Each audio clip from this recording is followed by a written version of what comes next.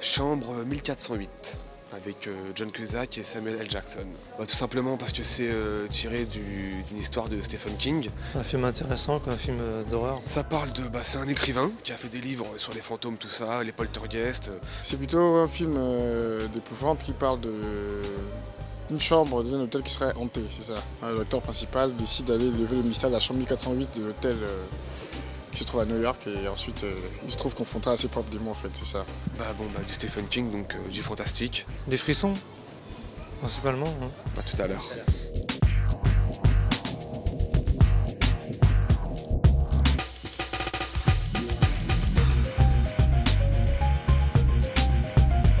Franchement, il est difficile à décrypter au début, à- même à la fin. On reste, on reste sur sa fin en fait. John Cusack, euh, il a un peu vieilli, un peu grossi. Samuel Jackson, bon bah, deuxième rôle, mais on le voit pas beaucoup.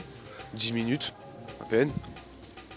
C'est ça qui m'a un petit peu déçu. C'est un peu long parfois, mais euh, c'est intéressant. Quoi. C'est...